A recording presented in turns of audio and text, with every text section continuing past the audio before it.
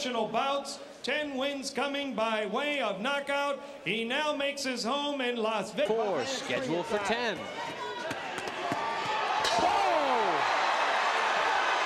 Down goes Arroyo. A fighter cannot be saved by the bell except in the final round.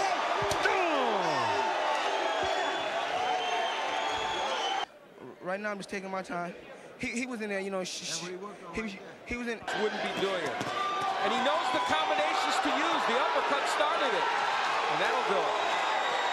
Fred Steinwinder the third. Look at it. Uh, uh, uh. Oh, no. I like your humility. That was. Thank you.